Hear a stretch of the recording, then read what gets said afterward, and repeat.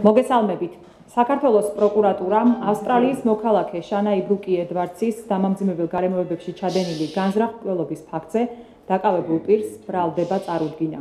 შინაგან საქმეთა სამინისტროს მიერ ჩატარებული გამოძიებით დადგენილია, რომ 2021 წლის 30 ივლისს დაახლოებით 16 საათზე თბილისში თაცმინდის პარკის მიმდებარე ტერიტორიაზე ბრალდებული ყაჩაღურად პირადი ნივთების დაუფლების მიზნით თავს დაესხა შანა იბრუკი ედვარდს. სხერტის მიერ გაწეული წინააღმდეგობის გამო ბრალდებულმა ყაჩაღობის გაადვილებისა და შემდგომში მისი დაფარვის მიზნით ანგარების მოტივით გადაწყვიტა შანაი ბრუკის მოკლა.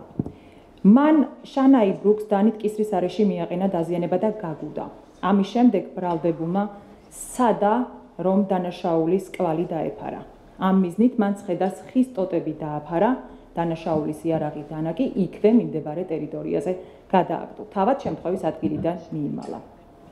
შინაგან საქმეთა სამინისტროს თბილისის პოლიციის დეპარტამენტის და თბილისის პროკურატურის თანამშრომლების ერთობლივი მუშაობის პროცესში ჩატარდა რამდენიმე ასეული საგამოძიებო მოქმედება. გამოიკითხა 200-ზე მეტი პირი. ესენი არიან შანაი ბრუკი ედვარდსის მეგობრები, მეზობლები, ასევე მისი თანამშრომლები, ყველა ის პირი, ვინც იმყოფებოდა შემთხვევის დღეს შემთხვევის ადგილთან ახლოს, გარდა ამისა, მთაწმინდის პარკის მიმდებარე ტერიტორიაზე დასაქმებული პირები. საბოლოოდ მოწმეებისგან მიღებული ჩვენებების შესაბამისად შედგა ფოტორობოტი, რომელიც დაეგზავნა ყველა ოპერატიულ დანაყოფს იმისათვის, რომ მომხდარიყო ბრალდებული პირის იდენტიფიკაცია.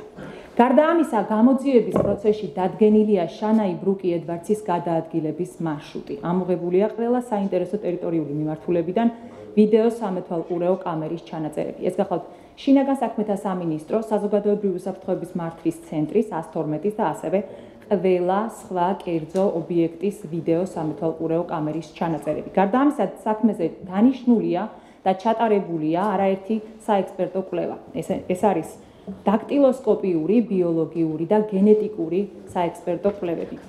საბოლოოდ გამოძიების მიერ შეკრებილი მტკიცებულებების საფუძველზე ბრალდებული 8 სექტემბერს დაკავდა სასამართლოს განჩინებით. მას ბრალდება წარედგინა. ბრალდება ითვალისწინებს საქართველოს სისხლის სამართლის კოდექსის 179 მუხლით განსაზღვრულ დანაშაულს. ეს გახლავთ ყაჩაღობა, ანუ თავდასხმა, სხვისი მოძრავი ნივთის მასაწინააღმდეგო მისაკუთრების მიზნით, ჩადენილი სიცოცხლისთვის და ჯანმრთელობისთვის სახიფათო ძალადობით. გარდა ამისა, ბრალდება ითვალისწინებს 119 მუხლით განსაზღვრულ დანაშაულს, ეს გახლავთ დანაშაული განზრახი მკვლელობა ჩადენილი სხვა დანაშაულის დაფარვის და გაადვილების მიზნით, ასევე ანგარების მოტივით. წარდგენილი ბრალდება საშელის სახით ითვალისწინებს თავისუფლების აღკვეთას 16-დან 20 წლამდე ან უვადოდ. პროკურატურა მიმართავს სასამართლოს დაკავებული ბრალდებულის მიმართ აღკვეთი ღონისძიების სახით პატიმრობის გამოყენების შესახებ. მადლობთ.